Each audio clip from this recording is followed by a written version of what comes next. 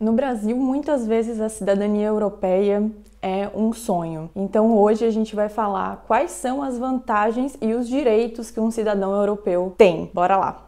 Oi, oi pessoal, eu sou a Carol e aqui no canal você vê vídeos sobre viagens e vida na Alemanha. Se você gosta desse conteúdo, se inscreve no canal, ativa o sino para receber notificações e se você quer apoiar o canal, além de deixar likes, comentários, compartilhar os vídeos, você pode apertar no botão Seja Membro ou fazer doações únicas apertando no botão Super Thanks. Então, pensei em falar sobre isso já para começar, já vou falar que eu não tenho cidadania alemã, tá? Não, não tenho, é, não tenho nenhuma cidadania europeia e então perguntas sobre processo, sobre toda essa questão, não vou saber responder. Eu preciso estar na Alemanha por oito anos para conseguir aplicar para minha cidadania. Então eu ainda não tenho, porque eu vou fazer seis anos de Alemanha. Tem algumas coisas aí que você pode fazer para diminuir um pouco esse tempo, se você faz curso de integração, enfim, tem algumas coisas. Eu não fiz nada dessas coisas. Então, é, eu vou ter que aplicar com. Dependendo do visto que você tem, também dá pra aplicar antes. Mas o, com o meu tipo de visto e com as coisas que eu fiz até agora, eu preciso esperar realmente os oito anos. Então, tem mais dois anos pela frente aí vivendo na Alemanha. E eu recebo algumas mensagens falando um pouco dessa questão da. perguntando da questão de cidadania e tal. Enfim, com relação a vantagens muitas vezes. E vou falar sobre isso. Então, quais são realmente as vantagens de alguém que tem uma cidadania alemã?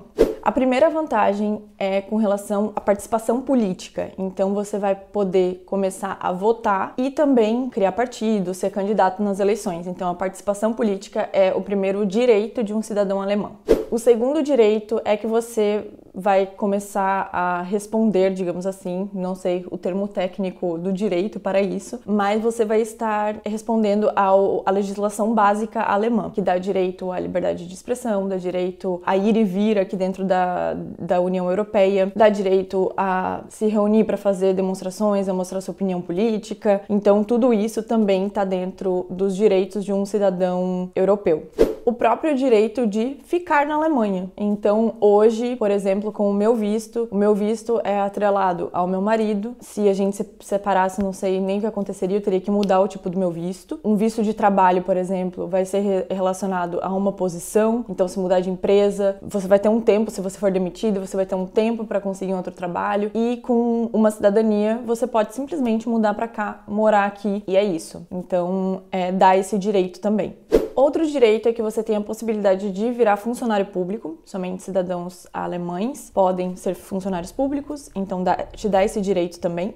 Novamente é citado na lista a questão do, da liber, livre circulação dentro da União Europeia, então você pode, como cidadão alemão, morar inclusive em qualquer país da União Europeia sem ter um visto. Então, se eu, quis, se eu tiver uma cidadania alemã e quiser mudar para Itália, eu posso mudar para Itália. Eu preciso me registrar lá na Itália, é, né, no registro ali da cidade para saberem que eu tô morando lá. Mas tirando isso, não precisa fazer mais nada, não precisa de visto. Você pode, enfim, morar na Itália, morar na Espanha, morar em Portugal, morar onde você quiser dentro da União Europeia você também tem direito à defesa consular em terras estrangeiras. Então, por exemplo, toda essa questão que aconteceu ali com o coronavírus, de teve gente que estava presa, sei lá, em, em, outro país, que fechou todas as, as, fronteiras e tal, e aí a Alemanha mandou um avião para buscar essas pessoas que estavam lá presas. Essa defesa consular da Alemanha te proteger em caso de você estar tá passando por algum aperto em outro lugar e mandar alguém para te resgatar em outro país. Isso também é um direito do cidadão alemão. E aí o último item da lista vai entrar em um ponto aí que me pega muito, que é o porque eu estou esperando ansiosamente por esses oito anos de Alemanha para tirar minha cidadania, que é por ser um dos passaportes mais vantajosos do mundo para viajar. Hoje em dia o passaporte, o passaporte que mais dá direito a você ir para outro país sem visto é o passaporte do Japão, que dá direito a ir para 193 países sem visto. Em segundo aparece a Coreia do Sul e a Singapura com 192 países. E aí a Alemanha está em terceiro lugar o passaporte alemão, empatado com o passaporte espanhol, que dá direito a 190 destinos sem precisar de visto. Sem precisar de visto,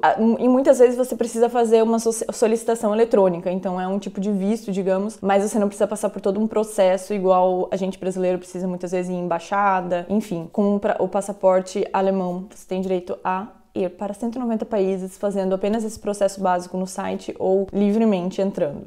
E aí falamos dos seus direitos, agora vamos falar de deveres. Então, né, falamos de direitos e vantagens, agora a gente vai falar dos deveres. Os deveres, como cidadão alemão, são Wehrpflicht, o famoso alistamento militar. Então, aqui na Alemanha existe a obrigatoriedade, mas ela está suspensa desde julho de 2011. Então, desde julho de 2011 não está mais sendo necessário fazer o alistamento militar, mas lá está escrito, é uma suspensão, não é um cancelamento da obrigatoriedade. Então, a qualquer momento que a Alemanha achar necessário retomar o alistamento obrigatório, eles farão. Então, por enquanto, está suspenso desde 2011, há 12 anos. E o alistamento militar ele acontece para os homens a partir de 18 anos. São 12 meses de, de alistamento obrigatório. Está suspenso, mas se voltar, é, essas são as regras. E o outro dever é com relação a júri popular. Então, se você for chamado para ser júri, júri popular, você é obrigado a ir. Então, esses são os dois deveres com relação a, a imposto, enfim, aí já quem mora aqui na Alemanha já é também não tem diferença entre cidadão e uma pessoa que trabalha aqui também precisa pagar imposto, que mora aqui. Então, é, com, com relação a isso, não tem muita diferença. Então, essas informações eu peguei do Bundesministerium für Innen und Heimat, que é tipo o Ministério Federal do Interior e da Pátria, sei lá. Enfim, coloquei isso no Google para ser sincera e traduziu dessa forma. Peguei essas informações de lá e aí eu procurei em alguns outros sites na internet para ver outras vantagens e, sinceramente, eu achei outras vantagens em alguns blogs e tal, mas não é nada que eu, como uma pessoa que moro aqui e pago os impostos e trabalho e tenho visto também não tenha. Por exemplo, vantagens como, quem fala aí, né? Vantagens como estudar na Alemanha que eu, se eu quiser. Estudar na Alemanha, eu posso pelo meu tipo de visto, dependendo do tipo de visto que você vem. Se você vem com trabalho, por exemplo, você vai precisar focar no seu trabalho. Você só pode estudar se você se o estado entender que você está conseguindo priorizar o trabalho, que é o motivo pelo qual você veio e foi te dado um visto. Mas no meu caso, que tenho um visto de reunião familiar, eu posso estudar, eu posso trabalhar. É, outro, outra vantagem vantagem que eu vi em alguns blogs foi é, o direito à, à, saúde pública. Isso é, inclusive, um dever de todo mundo que vem para cá. É, na Alemanha é obrigatório você ter seguro saúde, então você pode escolher, tem vídeo aqui no canal sobre isso, você pode escolher o seguro público ou privado, é, é descontado do seu salário, no, no seu, né, como se fosse um imposto mesmo. Você paga metade, a empresa paga metade, e inclusive é um dever você pagar e é um direito que você pode usufruir porque você está pagando. Então, só de morar aqui você já é obrigatório. Então, não já é obrigado você ter isso. Não é uma vantagem de alguém que tem a cidadania. Isso é de todo mundo que mora aqui. Enfim, vi algumas listas aí que falam de algumas vantagens que na verdade não são vantagens de cidadão alemão, são vantagens de quem está morando aqui na Alemanha, pagando impostos. Por exemplo, direito a seguro-desemprego. Isso não tem nada a ver com a cidadania alemã também. Para você ganhar o seguro-desemprego, você precisa ter trabalhado aqui na Alemanha por um período de tempo e aí você ficou desempregado e vai ter direito a esse seguro-desemprego. Então, não tem nada a ver também com a cidadania. Você não pode simplesmente mudar para cá e pedir alguma ajuda do governo.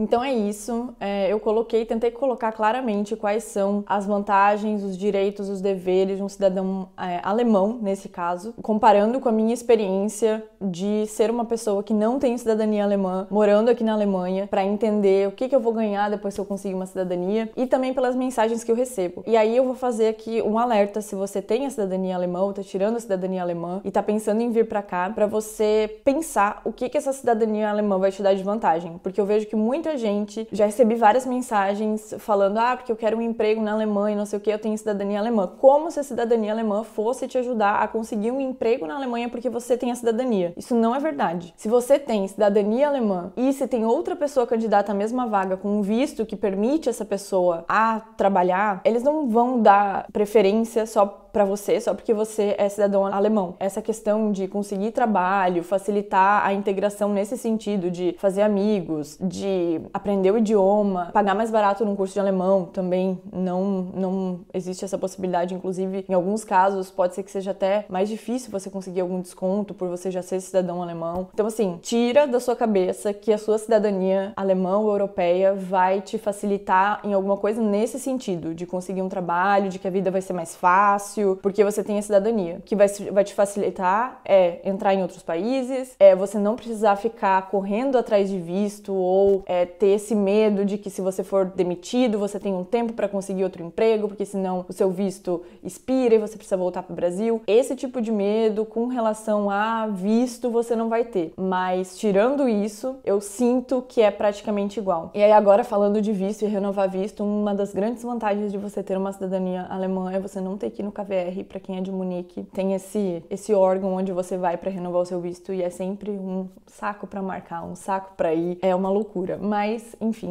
em cidades menores você faz direto na prefeitura, se eu não me engano, o processo é bem mais rápido, mas em cidades maiores você tem esse órgão e isso também é uma grande vantagem de você ter a cidadania, porque você não precisa ir nesse órgão que é realmente um saco. Mas é isso, gente. Espero que vocês tenham gostado do vídeo. Se você sabe de alguma outra vantagem que eu deixei de fora, escreve nos comentários. E, e é isso. Um beijo e até o próximo vídeo. Tchau!